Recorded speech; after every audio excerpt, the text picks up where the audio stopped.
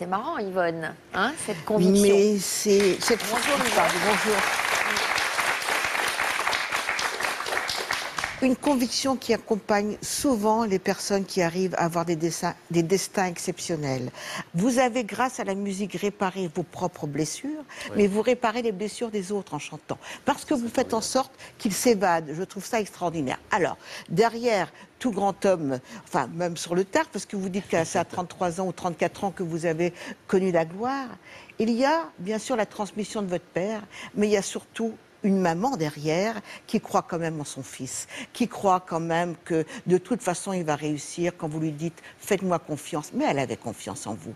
Parce que une réussite, derrière cette réussite artistique, il y a souvent l'ombre d'une mère qui plane et une petite rivalité avec le père qui s'inscrit à l'adolescence. Vous, peut-être que finalement, vous avez choisi un autre domaine que votre père parce qu'il fallait que vous fassiez du lyrique là où il avait fait un petit peu de la variété.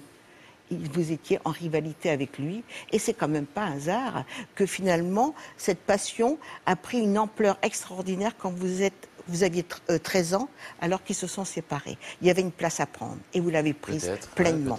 Alors, c'est vrai que pas besoin de psychothérapie, parce que quand on vous entend, bon, moi je suis fan, parce que je suis fan d'opéra, c'est vrai que vous transportez l'autre avec une voix qui est vivante. C'est-à-dire que on voit pas votre corps, votre voix est corporéisée. Elle est entièrement portée par vos émotions.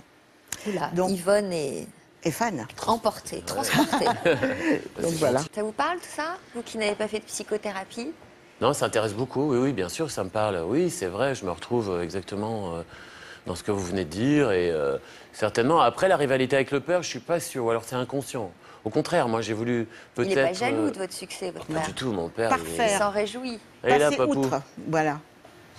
Non, non, il n'y a pas du tout, euh, y a pas du tout ça. C'était plus, euh, c'est vrai que je me suis longtemps posé la question est-ce que j'ai voulu euh, ressembler à mon père? On veut toujours faire quand son père est garagiste, on veut être garagiste, Mhm. boulanger. Voilà, est-ce que j'ai voulu faire ça? Puis après, je me suis aperçu que non, j'avais une vraie, une vraie passion pour ça. Oui, Pas mal, hein? C'est Richard Gere. Ouais, pas mal.